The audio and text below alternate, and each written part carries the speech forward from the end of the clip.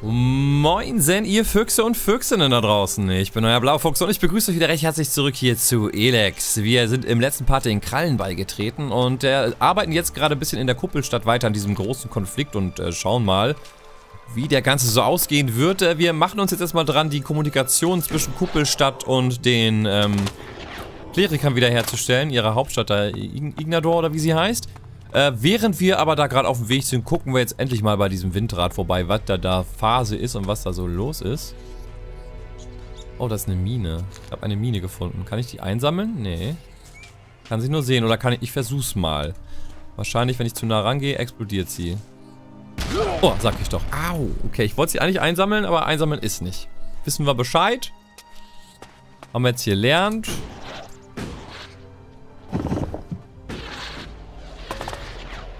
Die weißen Zacken Magalans.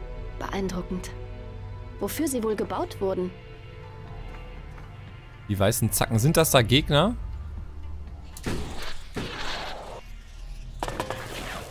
Wahrscheinlich ja. Ich ignoriere die erstmal noch weg. Oh, da ist doch so ein dicker Roboter. Ja, nee, danke. Aber wir gehen ja trotzdem mal hoch. Aber da sind wir noch.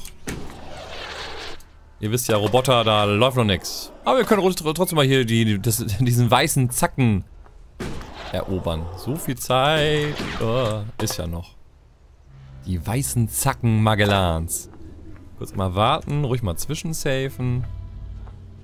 Dann müssen wir da gleich noch wieder weg, weil das ist zu gefährlich. Wir müssen irgendwie in diese Richtung. Also dann gehen wir gleich wieder auf den Weg zurück. Ich freue mich nachher, muss ich ja wirklich gestehen, wenn dieser Moment erreicht ist, wo wir dann wirklich kräftig sind und auch mal ein paar Gegner platt machen können und das alles uns dann in Ruhe einmal anschauen können und hier wirklich die ganze Gegend erforschen können. Also der ein oder andere hatte sich schon Sorgen gemacht, ob wir uns denn die ganze Gegend auch noch angucken. Selbst verfreilich... Oh, nein! Oh, scheiße. Selbstverfreilich werden wir das noch tun, aber natürlich halt erst, wenn ich ähm, stark genug bin. Weil ich habe keinen Bock immer, dass wir nur die Hälfte erkunden können, weil dann uns hier so ein Roboter im Weg steht. Mit dem wir uns halt echt noch nicht anlegen brauchen. Das hat noch keinen Sinn. So, und weiter hoch. Okay, das ist spannend. Hier ist es am Wackeln. Ich kann es ja nicht mal, wenn das still ist. Wenn es sich bewegt, wird es garantiert richtig witzig. Ey, was ist denn jetzt passiert? Ich bin irgendwie durchgefallen. Warum auch immer. Das habe ich jetzt nicht so ganz verstanden. Wir standen da ja relativ safe drauf eigentlich, aber ist okay.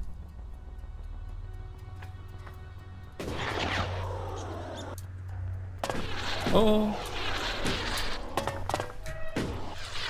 Oh Gottes Willen. Das ist nicht so einfach hier, aber ich will da jetzt hoch. Wir schaffen das auch. Jetzt warten wir mal kurz, bis hier die Ausdauer wieder aufgeladen ist. Der Sprit eher. Ich glaube, wir gehen mal außen um. Die Rückseite ist vielleicht cooler.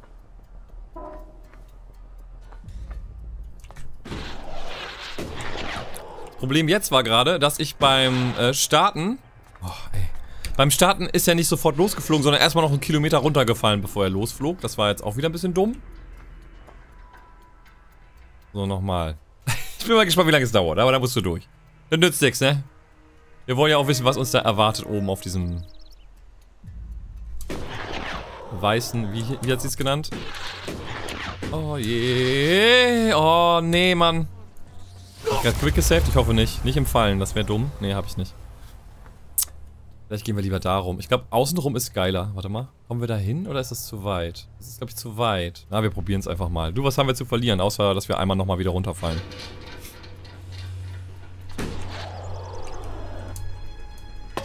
Guck mal, das ist äh, tatsächlich einfacher. Wir müssen jetzt ja nur noch da oben drauf.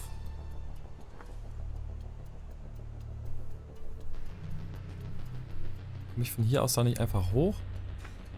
Probieren wir mein Glück. Ja, guck mal, das war ja deutlich einfacher. Also, hier haben wir Sprengraketen. Noch mehr Sprengraketen. Sonnenbrille, sehr praktisch. Zigaretten, die können wir teuer verkaufen. Und Geschosse. Das heißt, hier hat sich oben auf diesen wunderbaren Turm irgendjemand draufgesetzt, hat sich hier seinen Campingstuhl hin gechillt, seinen, seinen Angeberstuhl. Da setze ich mich jetzt erstmal rauf auf diesen Angeberstuhl und genieße die Aussicht. Ja, dann chillte der hier rum, ne? Also, wenn es etwas gibt, was ich cool finde, dann äh, definitiv das hier, weil ich muss mal ein bisschen zurückzoomen. Das ist, äh...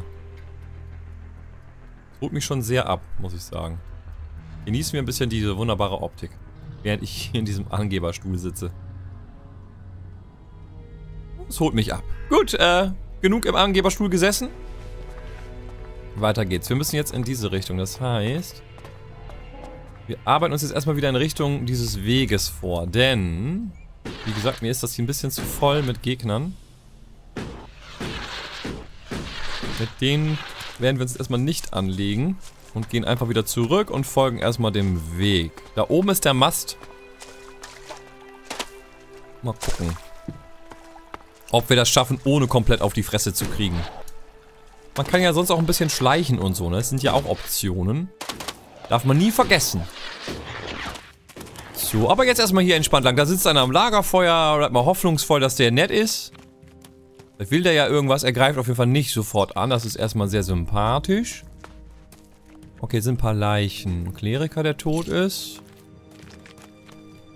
Noch ein Kleriker, der tot ist. Dann haben wir da eine Truhe, die öffne ich auch mal eben. Ring des Widerstands. Kleiner Heiltrank, Radox Bericht und Elexit. Dann lesen wir direkt mal Radox Bericht. Generell müsste ich, glaube ich, mal wieder gucken. Diebesmission, Vorratskiste hatten wir schon. Radox Bericht. Die Handlungen der freien Menschen sind für mich widersprüchlich. Trotzdem dienen sie unserer Sache. Sie geben sich so viel Mühe, sich selbst zu eliminieren, dass die meisten von ihnen uns nicht weiter beachten. Die Kleriker hingegen sind anders. Sie sind mir auf den Fersen, hartnäckige Zeitgenossen. Ihre Augen sind fast so kalt wie die unseren. Besser, ich breche nach Südosten auf, bevor sie... Na, da haben sie ihn gefunden. Er, er scheint hier Radox zu sein, weil... Ne? Ja, ist er. Moin. Hm, Du siehst aus, als hättest du schon einmal große Elex-Kräfte besessen. Vermutlich ein ehemaliger Soldat des Eispalastes oder sogar ein Commander? Aber so wie du dich kleidest, ist das offenbar schon eine Weile her. Bist du wie die Kleriker zum Sterben hergekommen oder um Ware in Empfang zu nehmen? Was kann mir ein Separatist schon anbieten? Deine Drohungen lassen mich kalt. Ich bin nicht gekommen, um dich zu töten. Ich frage mal, was er mir anbieten kann. Was kann mir ein Separatist schon anbieten? Die Waffen meiner Gegner. Nie benutzt, nur einmal fallen gelassen. Die meisten begehen den Fehler und unterschätzen uns in vielerlei Hinsicht. Und bevor du dich fragst, wo der Rest meiner Einheit ist, du wirst sie nicht finden. Ich bin allein unterwegs und so soll es auch bleiben. Trotzdem kann etwas Abwechslung nicht schaden. Seit das Elex nicht mehr konstant in meinen Körper strömt, genieße ich von Zeit zu Zeit die Gesellschaft anderer. Okay. Paige schickt mich. Paige schickt mich. Paige? Hm. Die Menschen sehen alle gleich aus und führen eigenwillige Namen. Doch du kannst nur die Frau aus der Kuppelstadt meinen. Sie ist mir im Gedächtnis geblieben. Aber wir führen die Unterhaltung besser später weiter. Da scheint jemand seine Niederlage ungeschehen machen zu wollen. Schnell, entscheide dich. Wirst du mir im Kampf beistehen? Ich mische mich nicht in fremde Angelegenheit. Du kannst, ja, du kannst auf mich zählen. Du kannst auf mich zählen. Gut. Zieh deine Waffe und dann befreien wir uns von dieser Last. Dich hol ich mir. Kaya steht neutral zu dir. Okay. Hallo.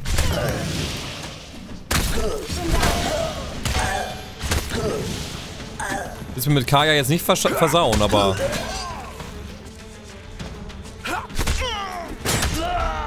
Er hat ja jetzt erstmal nichts falsch gemacht. Deswegen also... Na gut, er ist halt... Naja... Schwierig. Ich habe noch nicht so ein genaues Mindset, wen ich jetzt mag und wen ich nicht mag. Es ist einfach ein bisschen schwierig. Äh, guten Tag. Die Kleriker liegen im Staub. Und kein Zeichen von ihrem sogenannten Gott. Gott. Das sollte dem Rest von ihnen zu denken geben, wenn sie ihre Leichen verscharren. Da, nimm das. Betrachte es als Gegenleistung dafür, dass du mir nicht in den Rücken gefallen bist. Außerdem habe ich etwas für dich, das deine Auftraggeberin in der Kuppelstadt zufriedenstellen wird. Hier, gib ihr das. Für den Anfang wird es reichen. Den Rest werde ich ihr zu gegebener Zeit zukommen lassen. Machen wir so. Hast du auch was für mich am Start? Hast du auch etwas für mich? Du ersuchst einen Separatisten um Ausrüstung? Du musst wirklich tief gefallen sein. Du, ich will einfach nur da, gratis Zeug abgreifen. kann ich nicht für dich tun. Mächtige Heiltränke, so. Hüte dich vor den Elexetoren. Der hat ja sowieso. Ich dachte, wir können auch irgendwie handeln oder so, aber ist nicht drin. Gut. Aber unsere gute Begleiterin war jetzt nicht böse, dass wir das hier gemacht haben. Insofern bin ich erstmal zuversichtlich. Jetzt gucke ich mal eben. Ja, wir müssen darüber auf der Brücke. Machen wir das mal. Wir dort noch ein paar kleine Monster noch wegprügeln. Und da ist auch noch ein Gebäude, wo man nochmal reingucken könnte. Wenn man eh schon mal dabei ist, ne? Hier hat jemand eine richtig solide Brücke hingezimmert.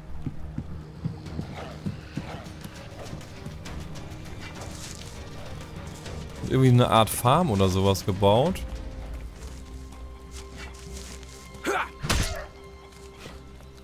Gibt's hier noch Leute oder sind das einfach nur Überreste von irgendwas? Ich sehe hier auf jeden Fall erstmal niemanden Freundliches, aber das sieht halt schon noch so aus, Hier als... könnte man sich fast schon niederlassen. Ich wollte gerade sagen, es sieht so aus, als wäre es zumindest mal bewohnt gewesen, ne? Hallo.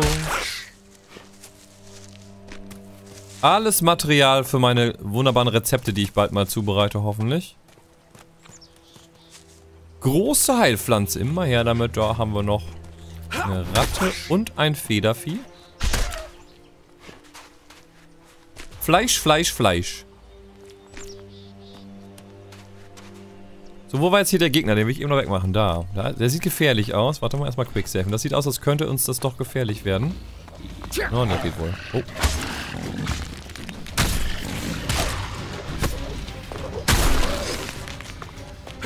Ich habe die beide weggeknallt mit meinem Kuh. Nice. Der Kritter ist tot, als auch die Blutkralle. Sehr gut. Das ist ja besser gelaufen, als ich gedacht hätte. Hier, die Brücke hat es wohl hinter sich. Die hat auch Metal aufgesagt. So, dann gucken wir jetzt mal noch hier in dem Gebäude, ob wir da noch irgendwas von Wert drin finden. Es macht halt irgendwie auch Spaß, so ein Elex, ne? Diese verfallenen Ruinen zu untersuchen und zu gucken, ob man überall irgendwo noch was Nützliches findet, abseits von sanften Toilettenpapier für den Popo. Sag ich doch, sanftes Klopapier, ich hab's geahnt. Elektroschrott, Goldbrocken. Was haben wir denn hier noch so drinnen? Schlafsack, ein kleiner Heiltrank. Elex-Trank, Klopapier. Geldbündel, Metallschrott. Rohes Fleisch. Zigarettenständer. Kurze Nachricht erhalten, die lesen wir gleich.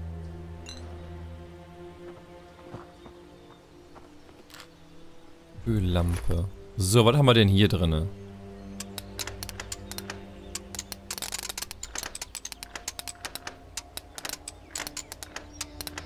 Müssen wir so machen? Ne, so, so, so, dann die beiden und dann nach hinten. Ja, läuft. Zu einfach. Zu einfach. Sei doch. Zu einfach. Ist so ein bisschen Angeber, ne? Wir haben Setzerbrot, wir haben Dietrich und gute Messer. Gut, dafür hat es sich jetzt fast nicht gelohnt, das auseinander zu ballern, aber ist okay. Okay. Hier haben die einen Pizzaofen am Start. Die haben ja einen kleinen Pizzaofen, ich sag's euch. Die haben hier gerne und viel Pizza gegessen. Ich fühle das. Wie wir gelernt haben, immer auf die Dächer nochmal raufgucken. Ey, sie ist einfach durch das Dach durchgeflogen. Den Skill soll sie mir auch nochmal beibringen. Und dann würde ich sagen, gehen wir erstmal weiter. Oh moin, da kommen Leute. Hallo, ich habe nicht gerade eure Kollegen umgebracht. Wer bist du denn? Kann man mit dir reden? Reisender Händler, hallo. Hallo, Fremder. Bevor du weiter in die Wildnis ziehst, solltest du deine Vorräte aufstocken.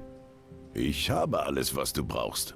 Ich würde tatsächlich mal gerne gucken, was hast du denn anzubieten? Was hast du mir anzubieten? Alles, was ein Abenteurer wie du brauchen könnte. Zeig mal, er hat ein Zepter, er hat einen Hammer, ein Plasmagewehr, Lasergewehr, Energieschild, die Klamotten, Heiltränke, Rezept, Apfelschnaps. Ein Rezept für einen Apfelschnaps. Regeneriert Gesundheit, kosten Huni. Schnaps und Apfel, und du nehme ich doch gerne mit. Brennstoffzellen, Energiezellen, ja, den Rest brauchen wir nicht. Das war's schon. Hau rein, ne? Danke fürs Apfelschnaps-Rezept. Rezepte halte ich immer so ein bisschen die Augen offen. Das schadet ja nicht, ne? So, Achtung, hier crossen Kühe. Bin mal gespannt, ob wir eine Kuh zum Streicheln finden. Wir haben ja gelernt, äh, dass Kühe streicheln richtig und wichtig ist. Grüße gehen raus an meinen Ocarina of Time Marathon Stream dieses Jahr. Kranke Pestratte, die hat auch schon jemand. Also entweder ist sie an ihrer eigenen Krankheit gestorben oder jemand kam uns zuvor. Jemand Stärkeres als eine kranke Pestratte. Oh, das ist eine Höhle. Ich habe eine Höhle entdeckt. Da müssen wir natürlich reingucken. Wie das immer so ist, fängst du an, in so eine Höhle reinzugehen. Der Anfang ist noch nice und ganz tief drin wartet irgendwas ekliges. Okay, ist doch keine Höhle. Ey, ich bin hier. Ey, rennt mal nicht weg. Äh, soll denn sowas?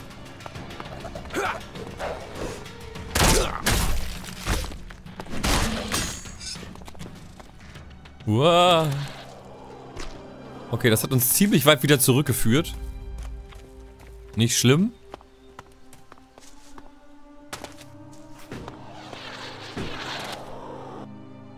Da sind wir wieder. Und da sind auch die reisenden Händler. Dann können wir ja mit denen ein bisschen zusammenspazieren, ne? Die können uns ja ein bisschen schützen vor Gefahren, die hier gegebenenfalls noch lauern. Ist ja gar nicht mal so verkehrt. Ja? Was sollen wir denn alleine hier rumreisen, wenn wir doch nette reisende Händler an unserer Seite haben können? Ich helfe ja auch an euch übrigens, ne? Ich bin gerade dabei, eure Kommunikation wieder ans Laufen zu bringen. Da oben ist auch wohl der Ort der Begierde.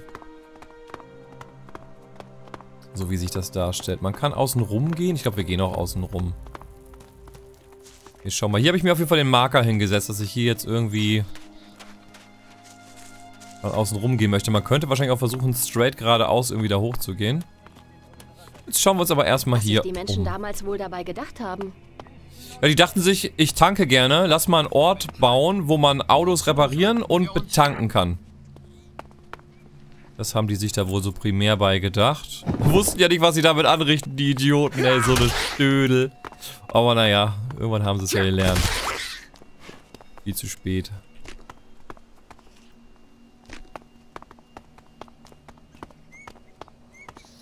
Da ist noch eine Raddi.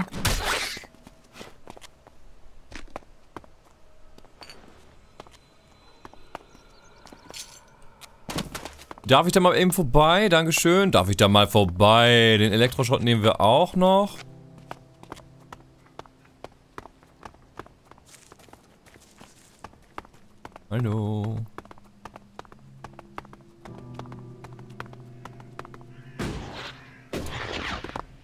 Drauf? Nee. Oh, es klingt so gefährlich. Da. Da ist sie wieder, eine Felsassel. Mmh. Da spüre ich schon wieder das köstliche Felsassel-Ragout. In Sahnesoße. Mua. Geht direkt auf die Hüften, aber ist es auch wirklich wert. Super lecker. Das sieht auch aus, als könnte das da irgendwo Richtung... Irgendetwas Wichtigem gehen. Da sind so richtige Banner aufgehangen und so. Aber da gehen wir erstmal noch nicht hin. Da unten könnte auch noch was sein. Wir gehen erstmal da oben gleich in diese Richtung. Schauen wir uns aber noch ein bisschen um. Ob hier noch irgendwas rumliegt. Hier ist auf jeden Fall noch ein alter Wagen. Da haben wir eine Öllampe, ein Energiespeicher. Da liegt noch ein kleiner Heiltrank einfach so rum. Zigaretten haben wir auch noch am Start.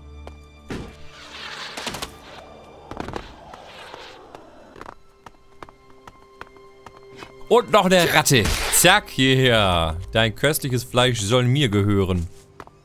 Dann zurück hier in die Bude rein und nochmal gucken, ob wir innen drin noch was finden. Einen Speer. Noch eine Zigarette. Klebeband. Metallschrott. Noch mehr Klebeband. Ein Tresor. Mal gucken. Ah, wir brauchen einen Lock. Meistens findet man es ja irgendwo in der Nähe. Das heißt, hier wird irgendwo schon sowas sein. Keule.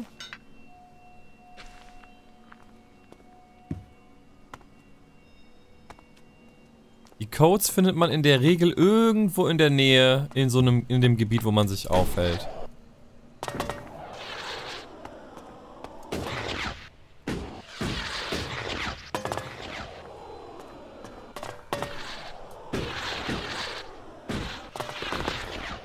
Meistens liegt das alles irgendwo rum.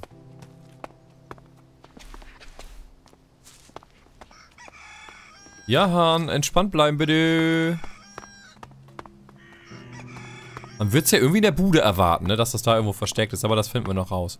Äh, meine Lieben, ich bedanke mich jetzt erstmal bei euch fürs Zusehen. Hoffe, ihr hattet soweit noch ein bisschen Spaß. Wenn euch das Ganze gefallen oder nicht gefallen hat, lasst entsprechende Däumlein da, Kommentare und Feedback natürlich sehr, sehr gerne unter Video posten und ansonsten sehen wir uns dann gerne gleich im nächsten Part wieder. Bis dahin euch viel Spaß beim Zocken. Tschüss, euer Blaufuchs.